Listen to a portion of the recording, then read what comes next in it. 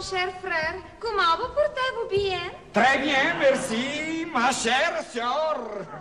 Чуй, Марийке, чуй, как сладко иде французското да ти е сладко да го слушаш. Да, Bonjour, мадемуазел Марийке. не разумявам французски. Но глей да се научиш. Една мума като тебе трябва да знае французски. Да, то трябва днес. Ти трябва още да се научиш на европейските дансове. Полка! Валц! Кадрил! Да знаеш как да се отнесеш на един кавалер, който ти прави комплимани, да правиш етикети и други, и други. И тъй, Марийке, ако желаеш да се научиш на европейски, идвай всякога у дома. Това ще се занимая нарочно с тебе. Благодаря, но не ще имам време. Ха, време. Остави и всичко, па глей да станеш цивилизована. Дето не ще го бъде. Стига да го обичаш. Нейна милост не цени още цивилизация. Цивилизацията, Марийке, е слънцето на днешния век.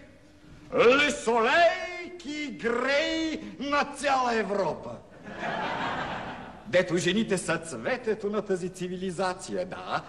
Там не са като тукашните рубини, а са равни с мъжа. Във Франца, а Пари, жената е тъй свободна, както и мъжът. Да, там мадмуазелата си взема кавалери на когото обикнала, па се разхожда с него, дето си ще и не пита ни майка, ни баща. Либерте, свобода! Това, ако им е свободата, Ма те европейките марийки не похващат нищичко. Слугините им вършат всичко. Те само себе си гледат. ние сме още далеч. Наистина, гледай и сестра ми. Аха, като нейна милост са две-три в града. Ти ще си четвъртата. Аз да си ходя! Що бързаш? Постой! Чуж човек, страх ме! Браво, срам! Не те е срам. Не те пуска. Ти, Марийке, не трябва да слушаш майка си.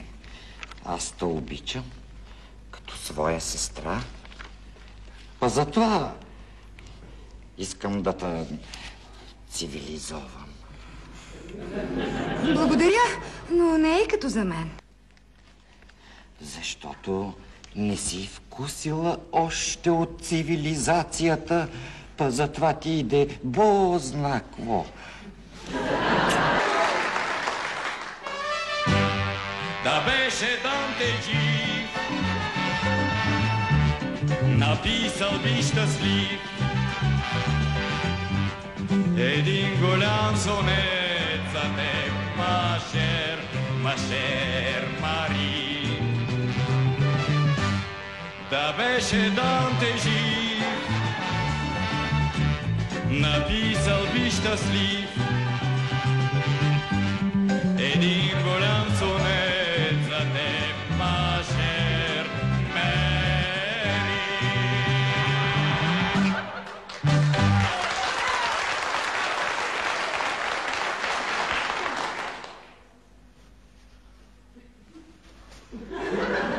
Язък ти за хубостта, Марийке!